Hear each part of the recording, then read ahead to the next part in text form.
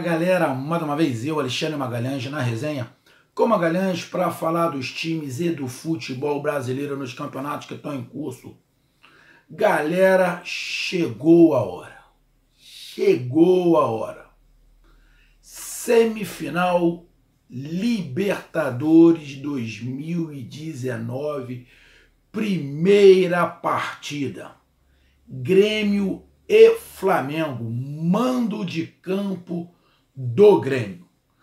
Então, o Resenha com Magalhães vem aqui fazer mais do que especial a sua análise pré-jogo desta primeira partida. Então, meu amigo torcedor gremista, meu amigo torcedor flamenguista, eu peço que você curta, compartilhe, inscreva-se aqui no canal Resenha com Magalhães, dê o seu like, coloque o seu comentário e ative a notificação. Não esquecendo, também estamos no YouTube, Facebook e no Instagram.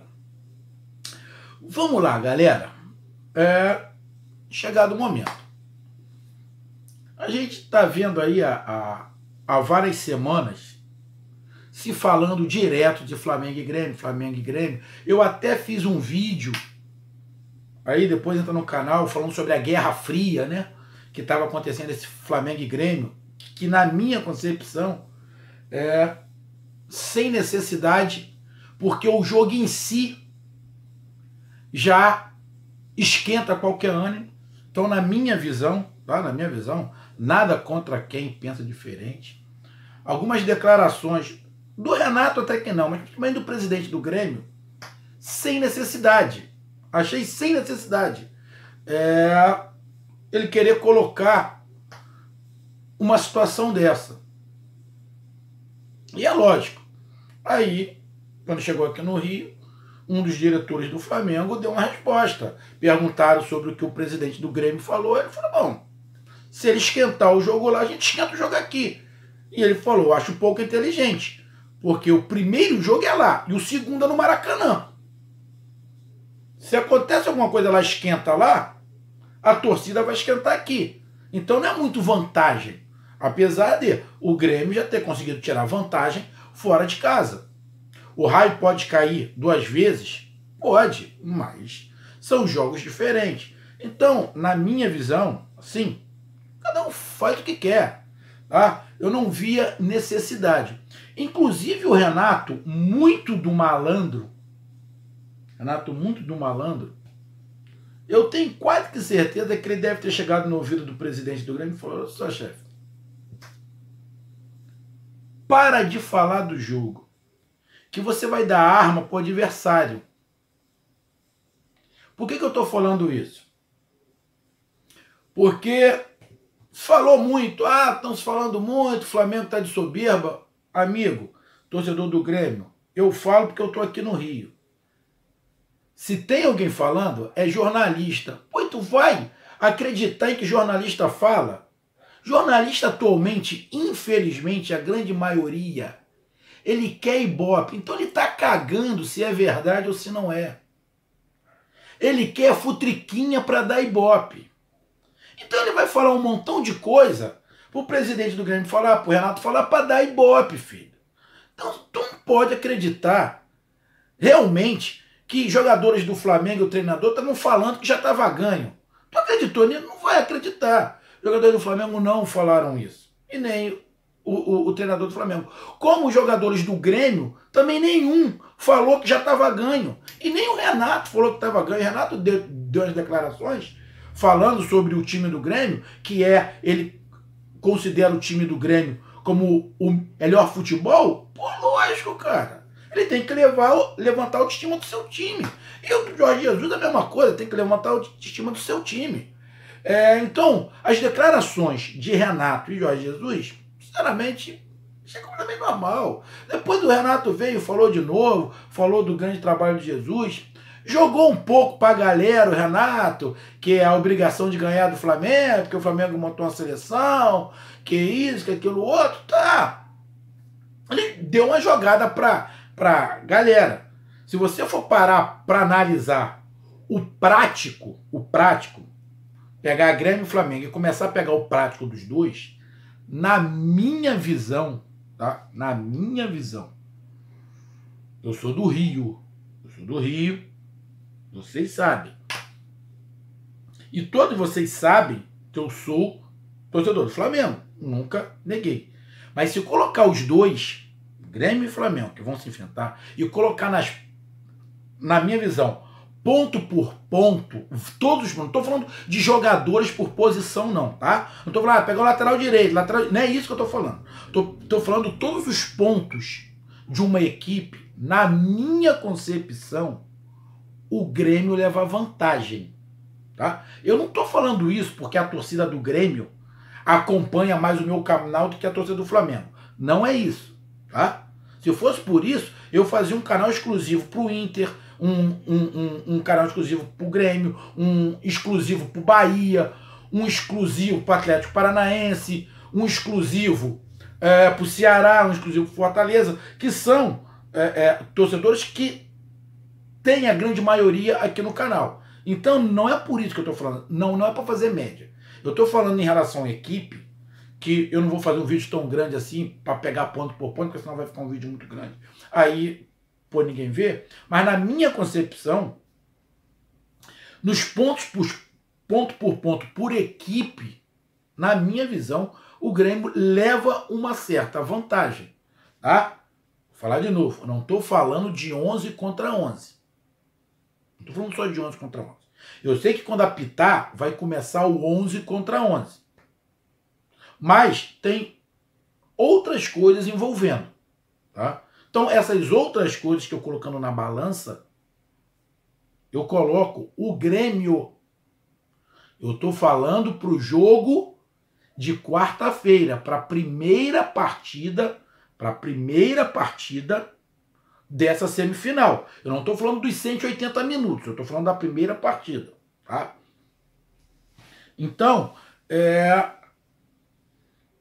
o Renato jogou essa, tem até um, uma certa lógica o que ele falou.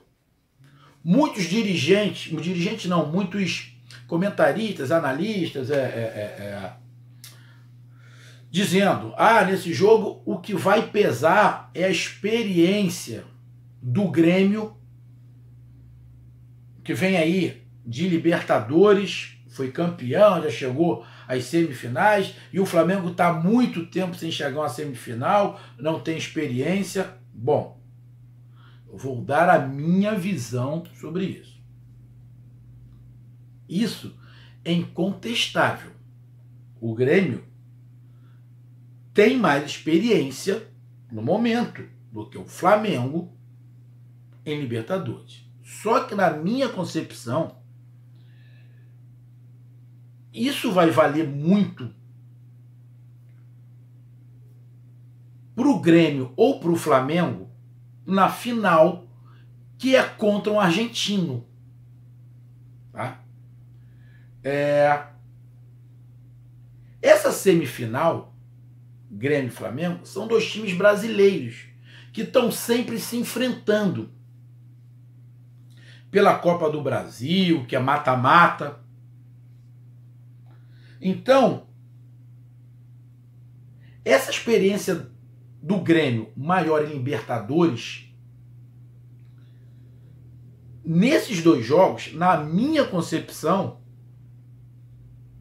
vai fazer pouca diferença, ou quase nenhuma, porque o jogo é interno. Jogo é entre brasileiros. Para mim, o que vai fazer diferença não é a experiência em jogos da Libertadores do Grêmio. O que pode fazer a diferença é o psicológico. Mas aí o psicológico não tem nada a ver com Libertadores jogos de semifinal de Libertadores. Lógico, tem a ver com a Libertadores, mas não específico de semifinal. Eu vou tentar ser mais claro. O Grêmio, o Grêmio entra nessa semifinal muito mais leve. Lógico, quer ganhar? Lógico que quer. Lógico que todos os jogadores do Grêmio querem ser campeão de novo. Renato quer ser campeão de novo. O clube quer ser campeão de novo, a torcida, você, torcedor do Grêmio, quer ser campeão de novo. Lógico. Só que o Grêmio foi campeão da Copa do Brasil há pouco tempo. O Grêmio foi campeão da Libertadores há pouco tempo. Então o Grêmio tem dois, três títulos de expressão nacional e internacional há muito pouco tempo.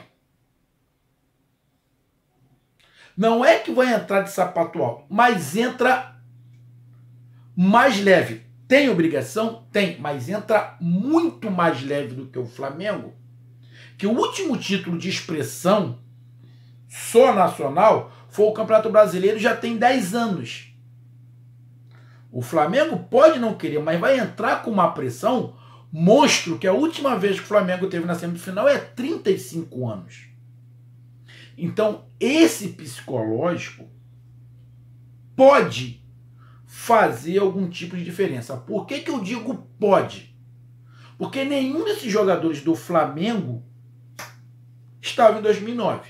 Essa pressão não é em cima dos jogadores. A pressão é mais da torcida, da direção do clube, que não pode passar isso para os jogadores. Agora, os jogadores em si, desses jogadores estava em 2009? Nenhum.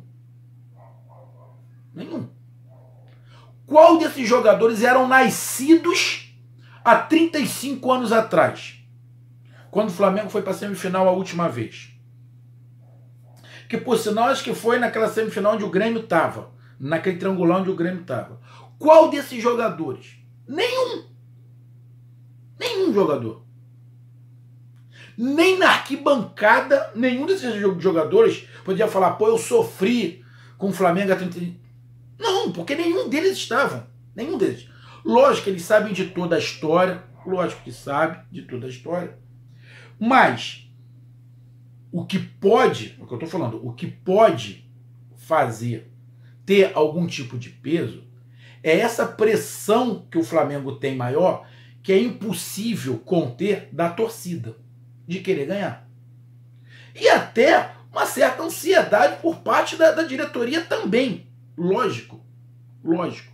Então, tem esse ponto, tá? esse ponto que eu falei. Mas, ah, o Grêmio está três anos seguidos na Libertadores, tem muito mais experiência. Vai valer muito se o Grêmio passar para jogar contra o Boca e contra o River. Que ano passado o Grêmio também tinha essa experiência e não conseguiu chegar à final. Então essa experiência em campo é relativa, filho. É muito relativa. É muito relativa. Talvez essa experiência sirva para os 15 minutos finais da segunda partida. Tá? Dependendo do que esteja acontecendo. Minha concepção. Então, esse é um ponto. Outro ponto. A continuidade do trabalho do Renato Gaúcho. O Renato está há três anos. É o mesmo time? Não. O time foi mudando aos poucos. Ele foi pegando jogadores que ninguém queria, foi colocando no time, o time foi rodando, sempre com o mesmo esquema, pensando em ataque, pensando em gol, jogar para frente, fazer um futebol agradável que todo mundo gosta. Mas o Grêmio foi se remontando, teve uma certa queda, depois subiu de novo.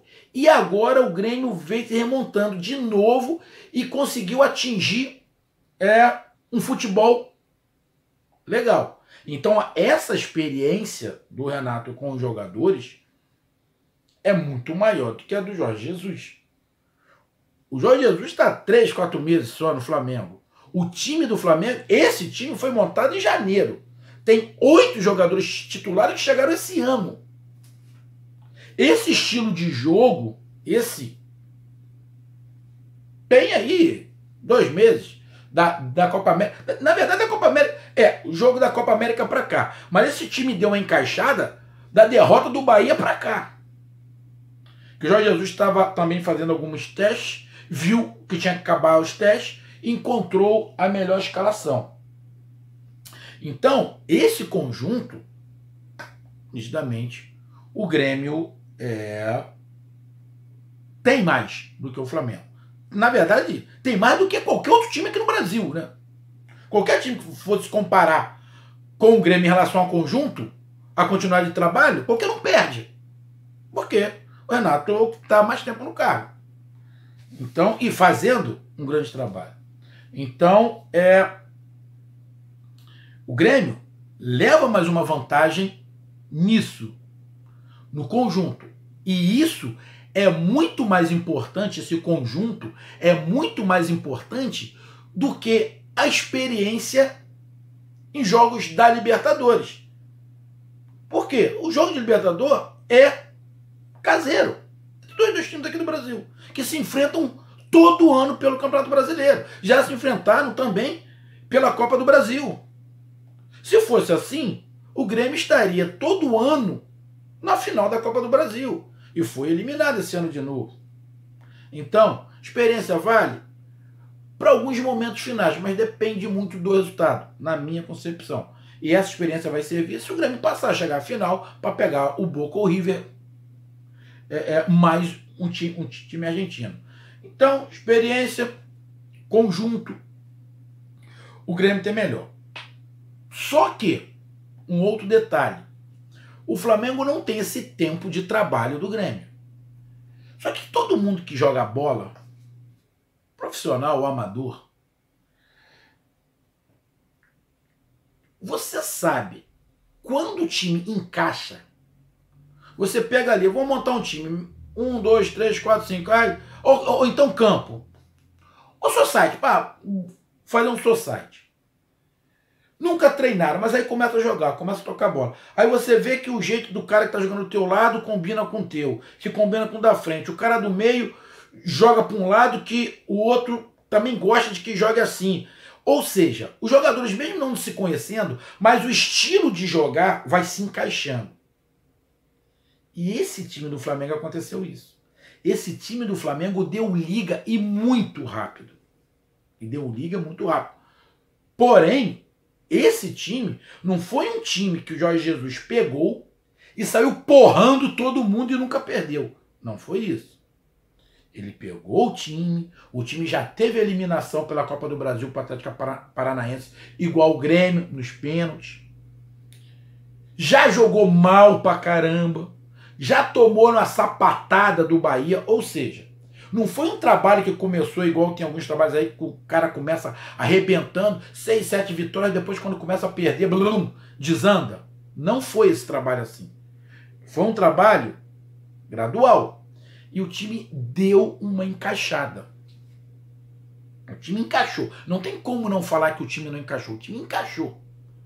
Então, pode compensar essa sinergia que os jogadores do Flamengo têm de gostarem de estar um próximo ao outro jogando bola, para compensar o conjunto muito maior do Grêmio. Tá? Mas o conjunto, sempre no final das contas, vai fazer um pouco de diferença. Mas dá para aliviar um pouco a falta de tempo que o Jorge Jesus tem.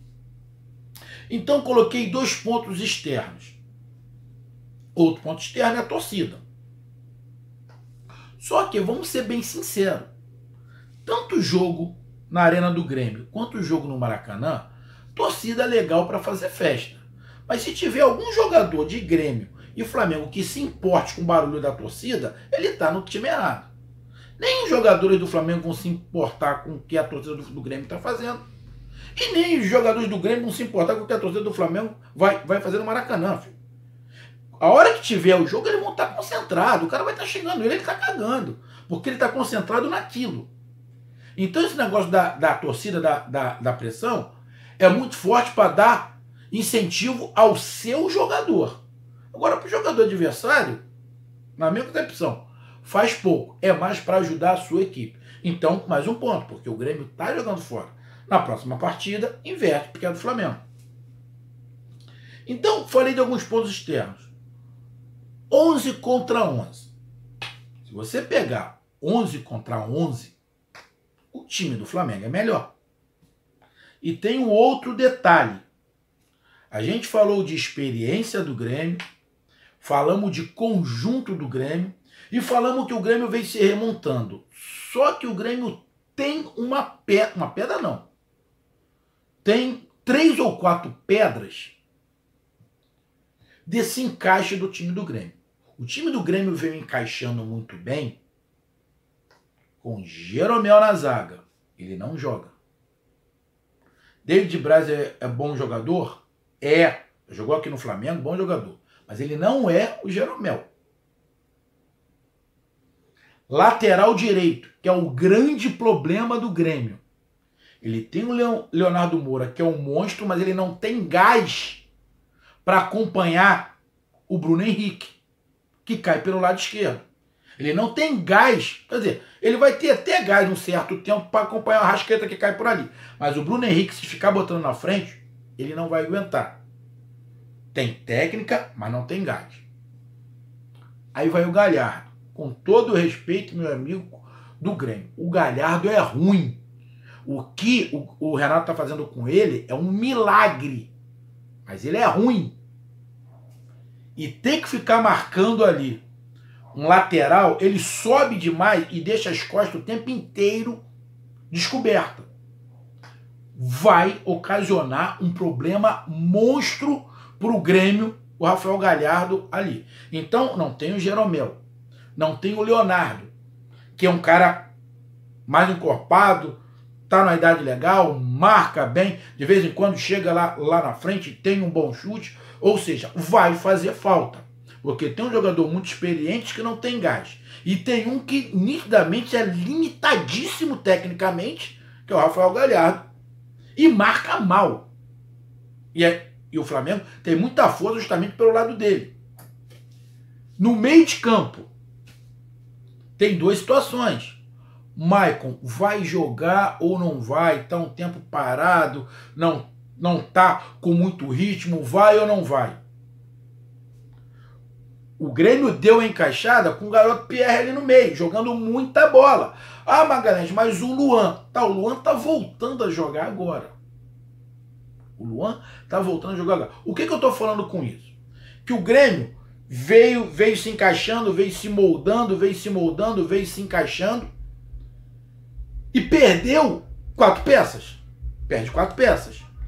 Que o Renato teve que, de uma hora para outra, ter que fazer alguns jogadores renderem. Porque se o garoto PR não se machuca, ele não ia botar o Luan. Ele só tá botando o Luan porque ele não tem um PR. Então ele botou o Luan. Que vem ali jogando. Mas ainda não tá aquele Luan de um tempo atrás. Tá longe. Fez gol, o Renato tá dando moral para ele. Tá? O lateral direito é muito mais fraco. O David Braz Pô, não dá nem para comparar com o Jeromel. É bom jogador, mas não dá para comparar com o Jeromel. Então, este conjunto do Grêmio dá uma certa balada. Tá? Dá uma certa balada. Pelo lado do, do Flamengo, o Flamengo não poupou jogadores. O Flamengo vem jogando o tempo inteiro. Pode bater algum tipo de cansaço? Lógico que pode uma hora vai dar uma pitada. Não acredito que seja agora. Mas é, é, o time do Flamengo viu nitidamente que não pode tirar os dois laterais, Rafinha, porque o nível cai demais. O nível despenca. O nível despenca. O Flamengo é, é tá ali com aqueles 11 jogadores muito bem azeitado.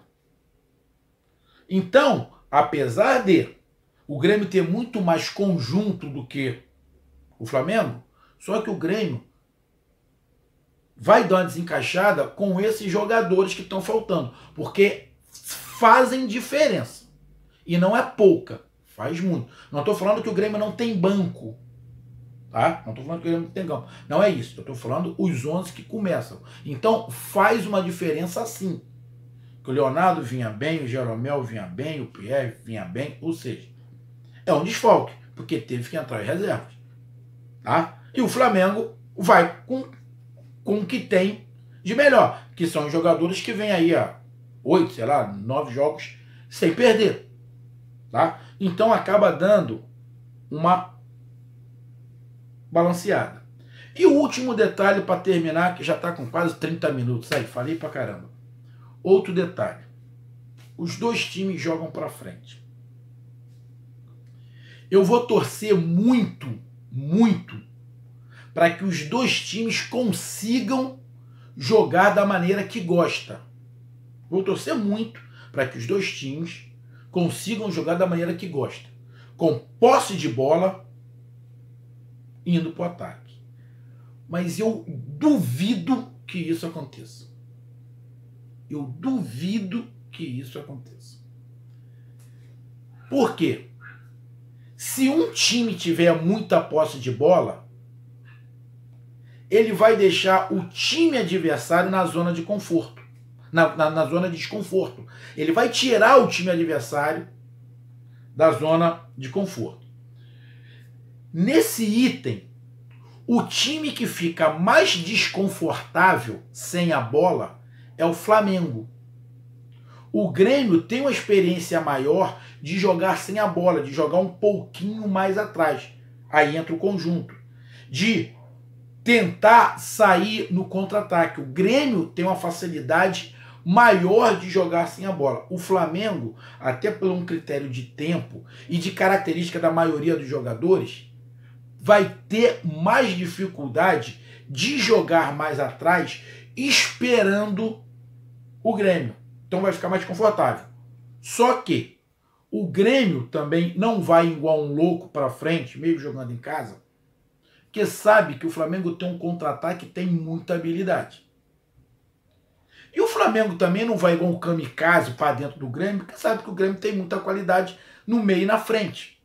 Então, na minha concepção, por mais que eu queira que seja um jogo aberto, bonito de se ver, mas eu acho que vai ser um jogo muito pegado. Futebol em si, na minha concepção, acho que vai ter pouco porque os times vão querer o tempo inteiro tentar, primeiro, anular o ponto forte do seu adversário. O Grêmio vai querer atacar, mas ele não pode resguardar. Então ele não pode se arriscar muito, porque senão ele toma o contra-ataque. E o Flamengo não vai poder ficar o tempo inteiro atrás, 90 minutos atrás. Não tem característica para isso. Também vai atacar. Mas também não pode se resguardar da defesa. A diferença dos dois é que o Grêmio tem um homem de criação no meio. Tem dois homens que chegam lá na frente. Dois homens que chegam. O garoto que foi para a seleção, e o Michael o Michel, e mais ali o Luan. Tem dois homens que chegam de surpresa. E tem dois atacantes abertos e um centroavante, que acaba flutuando. Mais ou menos igual o Gabriel Barbosa faz no Flamengo. O, pro, o problema ou a diferença é que o Flamengo tem dois homens de criação. O Grêmio tem um, o Flamengo tem dois de, de criação, criação mesmo, que é, que é o Arrascaeta e o Everton Ribeiro e joga com dois homens enfiados. Ele não joga com dois homens abertos igual o Grêmio. Joga com dois homens enfiados que se mexem o tempo inteiro. Então não dá para o Grêmio deixar os dois zagueiros mano a mano com Gabigol e com Bruno Henrique. Ele vai ter que botar um terceiro. Então ele vai perder um homem para o ataque. Ele vai perder um homem para o ataque. E o outro detalhe, o Grêmio tem que se ligar porque o time do Flamengo, os dois laterais não estão subindo muito. Eles estão ficando mais. Eles estão mais caindo para o meio para ajudar a fazer uma criação do que indo à linha de fundo. Então eles vão segurar mais, provavelmente, para tentar segurar o Cebolinha e o Alisson. Porque na frente, ele sabe que os, os cinco jogadores que estão ali na frente dão um jeito de resolver. E o Flamengo tem dois jogadores que também entram dentro da área, que chega de surpresa, que é o Gerson e é o Arão. Então, é uma questão tática ali para se tomar cuidado, tanto Flamengo quanto, quanto o Grêmio, mas principalmente para o Grêmio dessa vez, que está jogando em casa. Então, mas para mim, o ponto principal deste jogo, na minha concepção, é a lateral direita do Grêmio. Eu estou falando mais do Grêmio porque o Grêmio vai jogar em casa primeiro. A lateral direita do Grêmio. A lateral direita do Grêmio, para mim, é o calcanhar de Aquiles, é um problema, é, é a dor de cabeça que o Renato vai ter, é a lateral direita. Mas vamos ver o que acontece. Vai ser um jogão. Eu espero que seja um jogo aberto, mas não acredito que seja. Vai ser um jogo muito pegado e acho que com poucos lances de criação. Vai ser um jogo muito brigado. Espero que não aconteça. Espero que tenha mais futebol do que marcação. Mas acho que vai ter mais marcação do que futebol. Então, meus amigos, essa foi minha análise. Se curta, compartilhe, inscreva no canal Resenha com Magalhães. Dê o seu like aí e coloque o seu comentário. Desculpa, tentei fazer um vídeo curto, mas falar de Flamengo e Grêmio, Grêmio e Flamengo é impossível faz, falar em cinco minutos. E após o jogo, tem análise com resenha com Magalhães de novo. Um grande abraço, até mais. Tamo junto. Tchau. Valeu.